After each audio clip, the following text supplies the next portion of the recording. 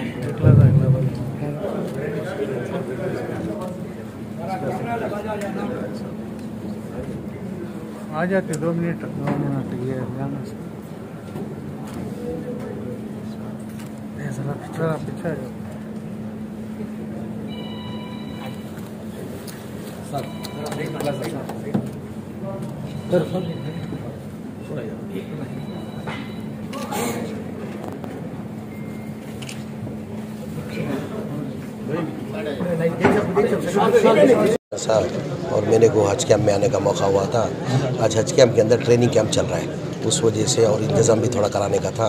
आज हम दोनों आके मायना करके हज मिनिस्टर रहीम खान साहब और हमने मायना करके चंद चीज़ का डायरेक्शन दिए हुए हम कैसे करना, क्या करना करके।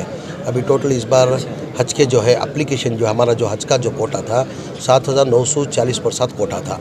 इन्हें एप्लीकेशन जो है, आठ हज़ार एक सौ चालीस कुछ एप्लीकेशन है।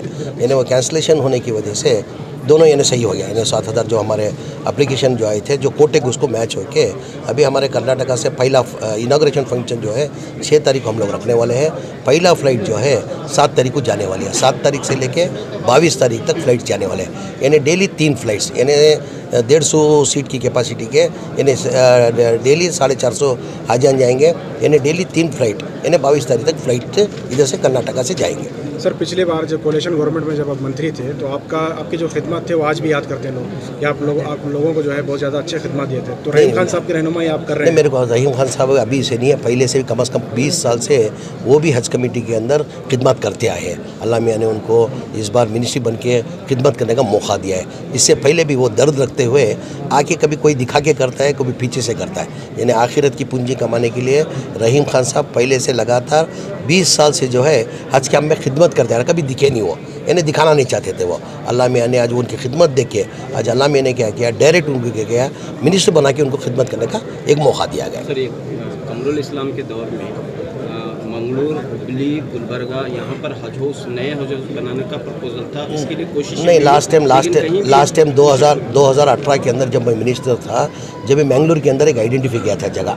मैंगलोर के लिए आइडेंटिफाई किया वो जगह सही नहीं हुई। उसके बाद मालूम हुआ मेरा पीरियड ख़त्म हो गया था। मेरी पीरियड ख़त्म होने के बाद हमारे चेयरमैन रऊफ साहब अभी बता रहे थे कि मैंगलोर के अंदर हमारे एमएलसी जो है पीएम फारूक साहब जो जनता दल के एमएलसी जो है पीएम फारूक साहब उन्होंने देकर जगह दी करके। ऑलरेडी गुलबर्गा के अंदर जगह सैंक्शन होगी सैंक्शन हो चुकी थी और मैंगलोर के लिए दस करोड़ रुपये में सैंक्शन कर दिया था। कंस्ट्रक्शन के लिए दस करोड़ रुपए सैंक्शन करके अभी भी दस करोड़ रुपए ऐसे ही पड़ा है। गुलबर्गा के लिए ऑलरेडी दस जगह सैंक्शन हो गई थी। काम शुरू करना था, इतने में अपनी गवर्नमेंट चलेगी अभी उधर ग्रैंड सैंक्शन रहे है। कंस्ट्रक्शन के लिए पैसा सैंक्शन करना है, वो इंशाल्लाह हम करा देंगे। और हुबली के अंदर भी एक हज हजगर हज भवन करना है करके हुबली के अंदर। हुबली के अंदर, मंगलूर के अंदर गुलबर्गा के अंदर, एक बिदर के अंदर। ये चार डिवीज़न में इंशाल्लाह ये पाँच साल के अंदर बेहतरीन हर जगह चार हज हाउस आएँगे और एक ये हज भवन जो है, बेंगलुरु का। हाजियों की तादाद बढ़ गई है। इस मरतबा आठ हज़ार तकरीबन हाजी जा रहे हैं। तो ये हज भवन जो है छोटा पड़ रहा है। नहीं तो हज भवन छोटा नहीं उसके अंदर थोड़ा बदलाव लाना चाहिए था। आज डिस्कशन हुआ है। उसकी वजह क्या लास्ट टाइम थोड़ा प्रॉब्लम होने की वजह क्या है ये हाजियों को क्या हो गया ये कोविड के अंदर दो साल हज का प्रोग्राम नहीं था। हज नहीं गया हज का। जो 2020 में और 21 में। एकदम से 2022 में आ गया। और इसको क्या कर दिए थे? बीबीएमपी वाले ने कोविड सेंटर बना दिए थे। कोविड सेंटर और हॉस्पिटल बनाने की वजह से थोड़ा डैमेजेस हो गए थे। एकदम से हज का आ जाके और उसके साथ में क्या हो गया? रोज़ का डेढ़ हज़ार हाजी का आ गया था लास्ट टाइम एकदम से थोड़ी लास्ट टाइम परेशानी हुई थी नहीं करके नहीं। इस बार ऐसी कोई परेशानी नहीं ऑलरेडी पूरा इंतज़ाम किया गया है। आराम से अमन से सुकून से इस बार हज का अच्छा हुआ है। शुक्रिया शुक्रिया। वालेकुम।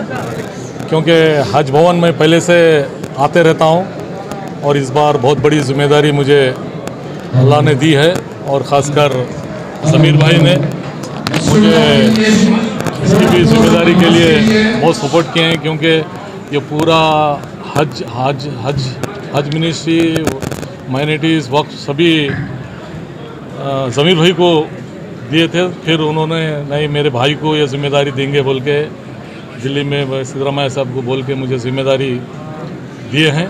तो ज़रूर ये ज़िम्मेदारी के लिए भरपूर हम निभाएँगे उसी के लिए अभी अर्जेंट मीटिंग लिए हैं। जो जो आगे फैसिलिटीज़ देना और जो भी प्रॉब्लम्स है उसको सॉल्व करना बोल के आज आए हैं और पूरे तरीके से हम इंस्पेक्शन करके ज़रूर पूरा करेंगे। मैं सभी को पूरे कर्नाटक को और पूरे जनता को धन्यवाद बोलता हूँ। कमेटी के ताल्लुक से क्या होगा? कैसे कमेटी चेंज होगी? क्या होगा? नहीं कमेटी सेम रहेगी इसके बारे में ऑलरेडी।